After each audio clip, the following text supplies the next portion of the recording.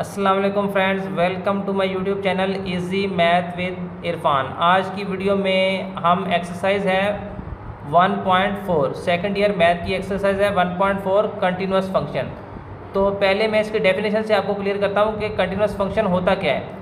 A function F is set to be continuous at a number C if and only if following three condition are satisfy अगर ये तीन condition satisfy होंगी तो फिर ही function continuous होगा।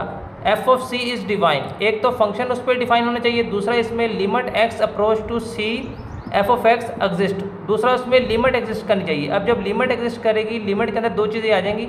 एक तो उसमें लेफ़्ट हैंड लिमिट होगी और एक उसमें राइट हैंड लिमिट होगी। वो हम क्वेश्चन के अंदर उसको सोल्व करेंगे। उसके बाद है limit X approach to C F of X ये जो लिमिट एग्जिस्ट की है, वो जो फ़ंक्शन डिफाइन हुआ था एफ़ ऑफ़ सी उसके इक्वल होनी चाहिए। ये तीन कंडीशन अगर सेटिस्फाई होंगी तो फिर फ़ंक्शन क्या होगा? कंटिन्यूस होगा। क्वेश्चन से हम इसको क्लियर करते हैं। ये क्वेश्चन मैंने लिया है find the values of M and N so that the given function F is continuous at X is equal to three X की वैल्यू थ्री दी हुई है, और ये फ़ंक्शन हमारे पास दिया हुआ है। अब इसमें ना हमने तीन चीज़ें निकालनी है। एक तो हमने उसमें से फ़ंक्शन को डिफाइन करना है। पहले हम फ़ंक्शन को डिफाइन कर लेते हैं। एक्स की वैल्यू कितनी है?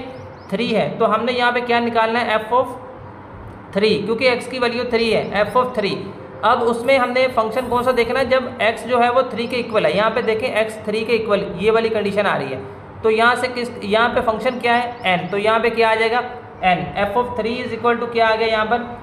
एन आ गया। अब हमने इसमें लिमिट निकालनी है। लिमिट के अंदर दो हैं। एक तो लेफ़्ट हैंड लिमिट है और दूसरी राइट हैंड लिमिट है। पहले हम इसमें निकाल लेते हैं लेफ़्ट हैंड तो लेफ़्ट हैंड लिमिट निकालते हैं। लिमिट एक्स अप्रोच टू क्योंकि यहाँ पर थ्री आ रहा है। X approach to three left hand limit निकाले तो यहाँ पे इसके ऊपर हमने माइनस लगा देना है। एफ़ ऑफ़ एक्स अब जब हमने देखा लेफ़्ट हैंड लिमिट है। लेफ़्ट हैंड लिमिट है मतलब ये नेगेटिव साइड से आ रहा है। जब एक्स लेस देन थ्री होगा, हम देखते हैं यहाँ पे एक्स लेस देन थ्री इसके अंदर है। एक्स लेस देन थ्री तो यहाँ पे क्या आ जाएगा? Limit X approach to three negative F of X F of X यहाँ पे एक्स लेस देन थ्री में ये वाला फ़ंक्शन है तो यहाँ पे क्या आ जाएगा? एम एक्स अब यहाँ पे हम, क्योंकि एक्स थ्री को अप्रोच कर रहा है तो एक्स की जगह पे हम थ्री पुट कर देंगे। जब एक्स की जगह पे हम थ्री पुट करेंगे तो एक्स की जगह पे थ्री आ जाएगा। ये क्या हो जाएगा यहाँ पर? थ्री एम ये लेफ़्ट हैंड लिमिट हमने निकाली। अब हम निकालेंगे यहाँ पे राइट हैंड लिमिट तो यहाँ पे आ जाएगा limit X approach to three यहाँ पे माइनस था, अब राइट हैंड लिमिट निकाले यहाँ पे हम निकालेंगे पॉजिटिव एफ़ ऑफ़ एक्स अब यहाँ पे देखें एफ़ ऑफ़ एक्स यहाँ पे limit X approach to three positive क्योंकि ये पॉजिटिव है तो एक्स ग्रेटर देन थ्री यहाँ पे देखें एक्स ग्रेटर देन थ्री में फ़ंक्शन कौन सा आ रहा है? Minus two X plus nine तो यहाँ पे क्या आ जाएगा? Minus two X plus nine. अब x की जगह पे हम वो लिमिट ये थ्री पुट कर लेते हैं। यहाँ पे क्या हो जाएगा? माइनस टू एक्स की जगह पे क्या आ जाएगा? थ्री प्लस ये आ जाएगा यहाँ से नाइन। ये हो जाएगा minus two three the six plus nine. Nine में से सिक्स निकालें तो बाकी कितना बचेगा? प्लस का थ्री तो अब यहाँ से क्योंकि हमने लेफ़्ट हैंड लिमिट भी निकाल ली है और राइट हैंड लिमिट भी हमने निकाल ली है। और फ़ंक्शन गिवन था कि फ़ंक्शन क्या है? कंटिन्यूस तो हम यहाँ पे लिखते हैं since F of X is continuous continuous at X is equal to three ये गिवन था हमारे पास। अब हमने लेफ़्ट हैंड लिमिट भी निकाल ली है राइट हैंड लिमिट भी निकाल ली और फ़ंक्शन भी डिफाइन हो गया। तो यहाँ पे क्या होगा? Left hand limit left hand limit हमने निकाली है is equal to right hand limit right hand limit और is equal to F of three, जिस पे फ़ंक्शन डिफाइन किया। तो लेफ़्ट हैंड लिमिट हमने कितनी निकाली है? लेफ़्ट हैंड लिमिट हमने निकाली यहाँ से थ्री एम तो यहाँ पे क्या आ गया? Three M right hand limit right hand limit हमने कितनी निकाली? यहाँ से थ्री ये यहाँ पे आ गया थ्री और f of three f of three हमने यहाँ से कितना निकाला था? एफ़ ऑफ़ थ्री हमने यहाँ से निकाला है एन तो यहाँ पे क्या आ गया?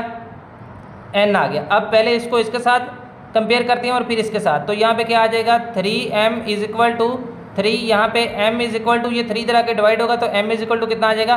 वन और यहाँ पे क्या आ जाएगा? N is equal to three तो एम की वैल्यू आ गई यहाँ से वन और एन की वैल्यू क्या आ गई यहाँ से थ्री तो यही हमने फाइंड आउट करनी थी कि हमने एम और एन की वैल्यू फाइंड आउट करनी थी इस क्वेश्चन नेक्स्ट इस क्वेश्चन का दूसरा जुज है। इसमें भी हमने एम और एन की वैल्यू फाइंड आउट करनी है। तो सबसे पहले फ़ंक्शन को हम डिफाइन कर लेते हैं। X is equal to three तो यहाँ पे हम निकालते हैं f of three f of three जब हमने निकाला, जब एक्स थ्री के इक्वल होगा, ये यहाँ पर आ रहा है। एक्स ग्रेटर देन और इक्वल थ्री तो यहाँ पे एक्स थ्री के इक्वल आ रहा है तो यहाँ पे क्या आ जाएगा? फ़ंक्शन यहाँ पे क्या आ रहा है? एक्स का स्क्वेयर तो एक्स की जगह भी हम थ्री जब पुट करेंगे तो ये हो जाएगा थ्री का स्क्वेयर थ्री का स्क्वेयर कितना हो जाएगा?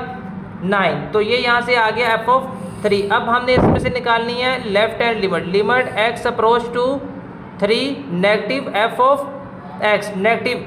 ये आ गया limit x approach to three, negative. क्योंकि अगर नेगेटिव लिमिट है तो इसमें एक्स लेस देन थ्री वाला लेना है। एक्स लेस देन थ्री कौन सा आ रहा है? ये एक्स लेस देन थ्री है। तो यहाँ पे क्या आ गया? M x. तो यहाँ पे फ़ंक्शन क्या आ जाएगा? M x. तो यहाँ पे हम क्या करते हैं एक्स की जगह पे हम लिमिट पुट करते हैं एक्स किसको अप्रोच कर रहा है थ्री को तो यहाँ पे एक्स की जगह पे जब थ्री आएगा तो ये क्या हो जाएगा थ्री एम यहाँ पे ये हो गया थ्री एम अब हमने निकाली इसमें से राइट हैंड लिमिट अब राइट हैंड लिमिट लगाते हैं, ये हो जाएगा limit x approach to three positive f of x तो ये हो जाएगा limit x approach to three positive क्योंकि जब पॉजिटिव लिमिट है तो एक्स ग्रेटर देन थ्री वाला लेना ये आ रहा है एक्स ग्रेटर देन और इक्वल थ्री तो यहाँ पे फ़ंक्शन क्या आ जाएगा एक्स का स्क्वेयर तो यहाँ पे हम जब एक्स थ्री को अप्रोच कर रहे हैं एक्स की जगह पे थ्री पुट करते हैं, ये हो जाएगा थ्री का स्केयर थ्री का स्केयर कितना होता है? नाइन तो इसमें हमने लेफ़्ट हैंड लिमिट भी निकाल ली राइट हैंड लिमिट भी निकाल ली और फ़ंक्शन जो था एफ़ ऑफ़ थ्री वो भी डिफाइन हो गया. तो अब हम क्या करते हैं? इसमें से हमने वो फ़ंक्शन जो है, उसने दिया हुआ कि फ़ंक्शन कंटिन्यूस है. तो हम यहाँ पे लिखेंगे as since f of x is continuous f of x is continuous at x is equal to three तो यहाँ पे क्या हो जाएगा? Left hand limit left hand limit is equal to right hand limit right hand limit is equal to f of three left hand limit हमने कितनी निकाली? Left hand limit यहाँ से हमने निकाली थ्री एम तो यहाँ पे क्या आ गया? Three m right hand limit कितनी निकाली? राइट हैंड लिमिट हमने निकाली यहाँ से नाइन और ये f of three f of three यहाँ से कितना निकला था? ये भी निकला यहाँ से नाइन। तो इसको पहले इसके साथ कंपेयर करते हैं, फिर इसके साथ कंपेयर कर लेंगे। तो यहाँ से क्या हो जाएगा? Three m is equal to nine तो ये यहाँ से हो जाएगा m is equal to nine by three तो ये आ जाएगा यहाँ से थ्री और दूसरा, इसमें से m की वैल्यू तो निकल आई हमने इसमें से फाइंड करनी थी n की वैल्यू तो n इसके अंदर आया ही नहीं है। तो n की वैल्यू इसमें से नहीं निकलेगी। इसमें सिर्फ़ m की वैल्यू ही निकली है।